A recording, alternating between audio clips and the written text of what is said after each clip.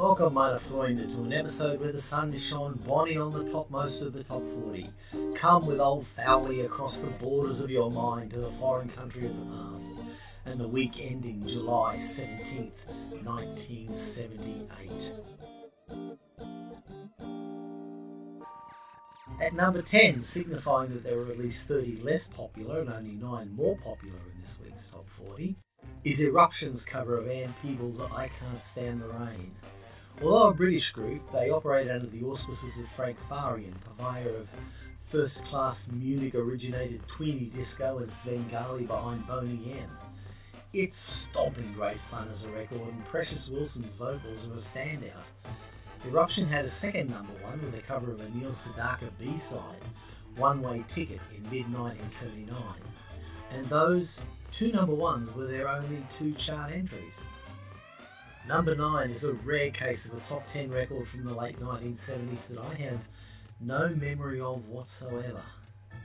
Just One More Night by Yellow Dog. It's pleasant radio fodder, a slightly silly novelty song, a little more bawdy in tone than one might hear from Benny Hill. It's not bad, it's not good, it's number 9.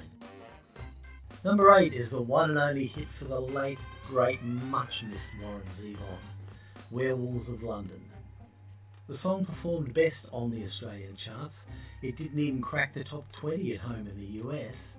The song was also apparently incredibly problematic to get down in the studio, even though it's only three chords, using up most of the album's budget until Mick Fleetwood and John McVie were roped in, and it all clicked.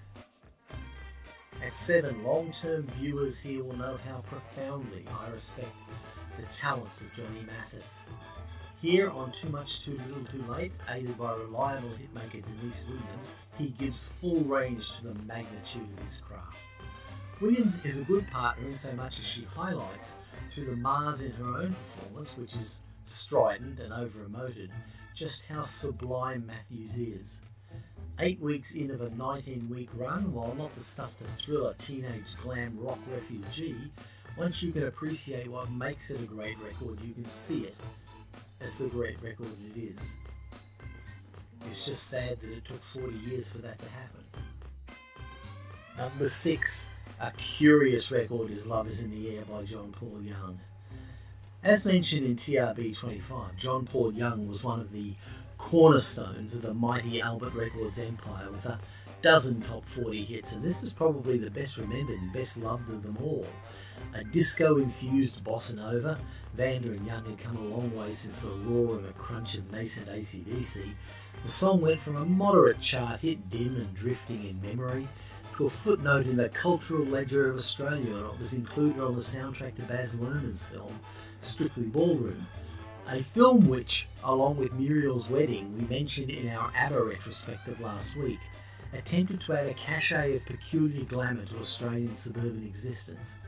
Whatever its merits, for me, it is a record the sheer ubiquity of which tends to render it a little uninteresting, especially compared to what is around the rest of the charts this week. How could we forego or forage through the fields of farinaceous facts of flower and fruit before our eyes? Follow me then through the folds of Fowl's fantastic world of facts. The most hit-bound hit this week was Warm Ride by Graham Bonnet, up 12 spots to 26. A long-time friend of the Bee Gees who gifted him this song, and presumably the backing track they were going to sing to it, Bonnet went on to a storied career.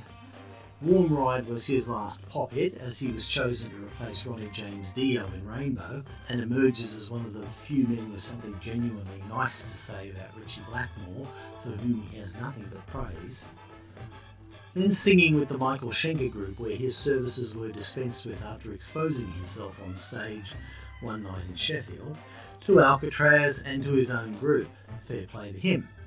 Not many guys come back from the old Jim Morrison stunt, but it was metal, it was the 80s, and things got crazy now and then. The biggest dropper this week was another Bee Gees related tune, somewhat more directly in the form of Stayin' Alive, which struts its way down from 27 to 38, magnificent as it was all the while. The Emeritus single on the charts was the most un-Uriah Heep of Uriah Heep singles, Free Me, currently at 22 weeks, ultimately lasting 28, before slipping out of the top 40. No new songs entered the top 40 this week, but looking at the national chart, this week's biggest hit debutante was the bewitching teenage boy heterosexuality confirming wood nymph herself, Kate Bush, with The Man with the Child in His Eyes, which could manage no better than 58. Sitting imperiously atop the US charts this week was another Bee Gees related hit, Shadow Dancing by Andy Gibb, the ill starred youngest of the Gibb brothers. And sitting astride the UK charts this week was You're the One That I Want by Olivia Newton John and John Travolta, coming towards the end of a nine week run there atop. Checking in at number five, the first and biggest of three hits for the band that introduces to the almost intolerably cool Ray Parker Jr., Jack and Jill, by Radio. Not possessed of the usual red hot guitar histrionics that Parker had become famous for, this concentrates on melody and its super smooth sound to bring considerable charm to the charts and retains those charms simply not by being overplayed, rather coming along now and then like a cool breeze on a hot, dry day. The fantastic number four is one of the most unforgettable tunes of the 70s, Macho Man by the Village People. Their second single after San Francisco, You Got Me, which was famous for its indescribably awful video, Macho Man remains a joyful stomp an integral part of what was on the radio in the 70s. The Village People ran up five top 20 hits and two number ones before their novelty ran out and they devolved into a touring act appearing in front of 42,000 people at the Australian Rugby League Grand Final in 1991, and also showing a dab hand at good natured self parody. In 2020, they performed perhaps the ultimate bridging of the gay straight political divide when Donald Trump used Macho Man and YMCA at his re election rallies. At number three, slipping down after a week at the peak is Gerry Rafferty's Baker Street, possibly the most successful song about lawsuits and counter lawsuits ever on the Australian charts. Most famous for its 8 bar saxophone break rather than Rafferty's mumbling, somnambulant vocal. Baker Street spent a good five months on the charts, fading off in mid September. Apropos the sax break, the chap who played it, Raphael Randolph, did make a claim to authorship based on his having composed the break in studio. The claim was refuted when Rafferty produced his demo of the record showing him playing that break on guitar, but it opened up a whole new can of worms when a lawsuit arrived from the estate of minor league American jazzbo Steve Marcus, claiming similarity between the Baker Street passage and his song Half a Heart. I don't know why everyone fusses over the sax break, it's the guitar solo on Baker Street which is spectacular. The English national football team of this week's charts is one of the biggest hits ever in Australia temporarily deposed from number one. You're the One That I Want by Olivia Newton John and some other bloke. First hitting the top on June 24th, it spent two weeks aloft before being toppled, sitting at number two for six weeks. Meanwhile, Macho Man spent four of those weeks at number three, then got back to number one on August 21st, spending a further seven weeks up there, and not leaving the top 40 until the beginning of December, after seven months of residence.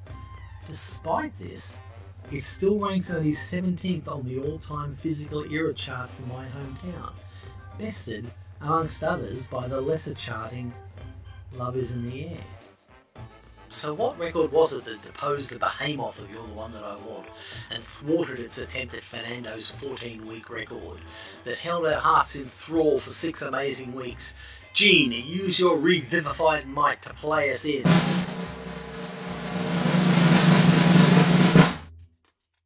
It's The Rivers of Babylon by Boney M. Possessors of eight top 40 hits and two number ones, Rasputin being the other. People who are presumably unfamiliar with the soundtrack to The Harder They Come and therefore the Melodians' far superior version bought this in droves and why not? It's perfectly acceptable pop fluff, and six weeks at number one in such a keenly competitive field is a highly noteworthy achievement.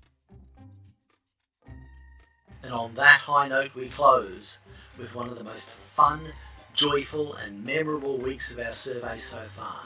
I can only hope next week will be as much fun. I can't guarantee that, but what I can guarantee is that it will be interesting. And I certainly hope to see you there in the near future, in the past, which is a foreign country.